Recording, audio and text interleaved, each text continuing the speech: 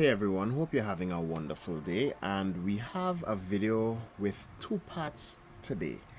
First off, we'll be looking at how to fit the largest possible square within a triangle and the second part of the video will examine how to draw a square or rectangle equal in area to a triangle.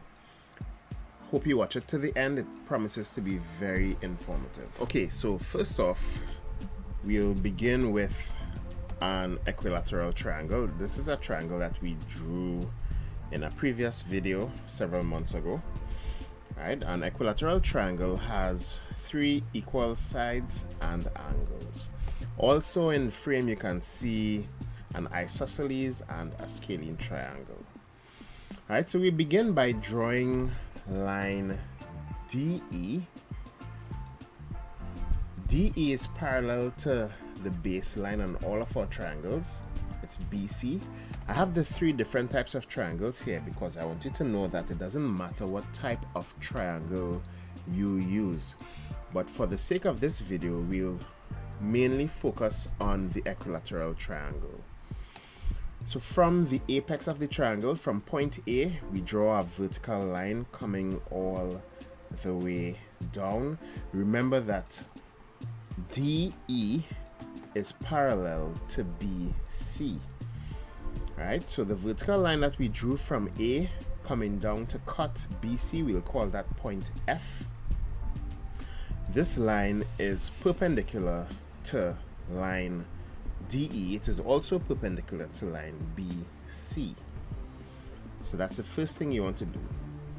What we want to do next is using radius AF right? So we're using the radius AF we want to draw an arc to cut DE and you can see that we have drawn the arc here.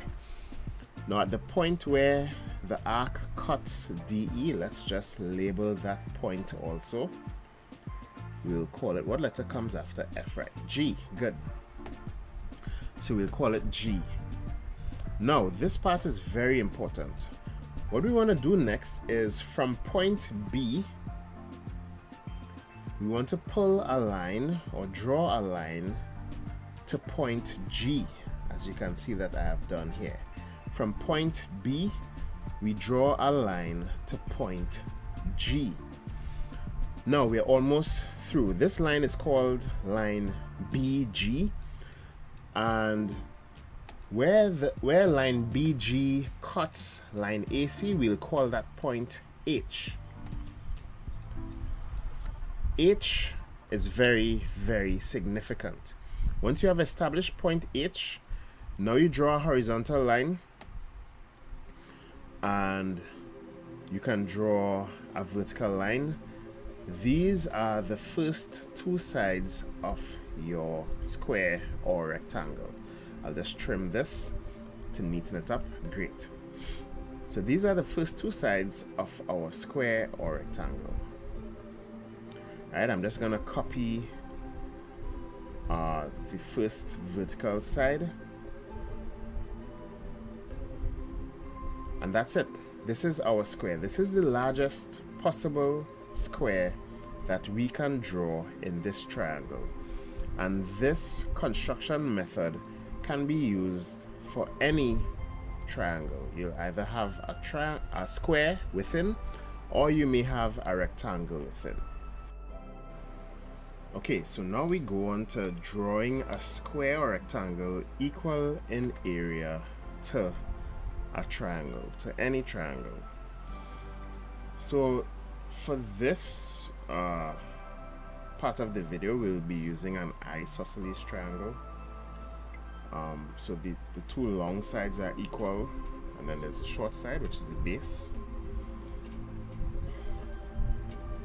So immediately we begin with a vertical line.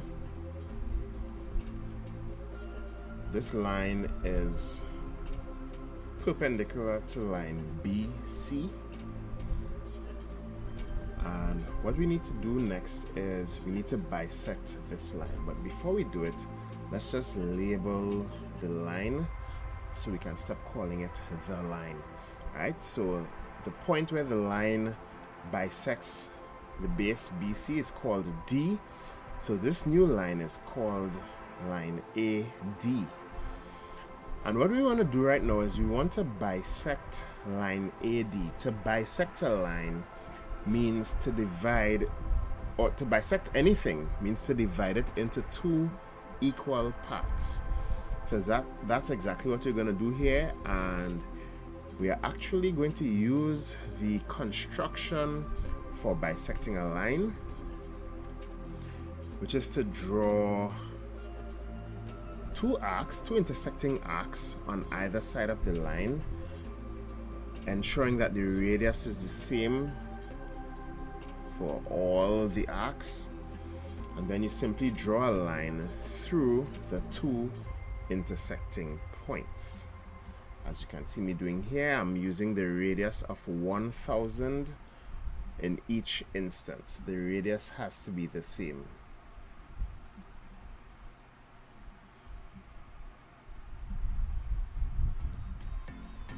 Right so those are our intersecting arcs.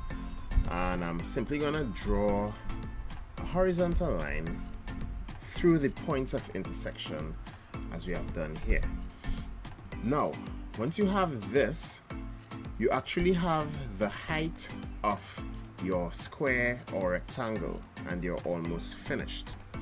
What you're going to do next is you will draw some vertical lines from the base of your triangle to touch or to cut the horizontal line like this and um, I'm just gonna trim just gonna trim yes my favorite command. I'm just gonna trim the center of this line so that when I'm ready to change the layer everything will come out perfectly. Alright but you can already see the square or rectangle being formed.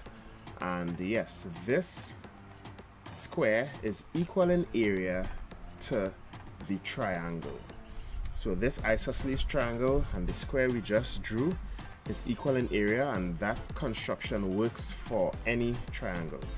So here we have it. First, how to draw the largest possible square in a triangle and secondly, how to draw a square equal in area to a triangle. Thank you very much. Please like and subscribe.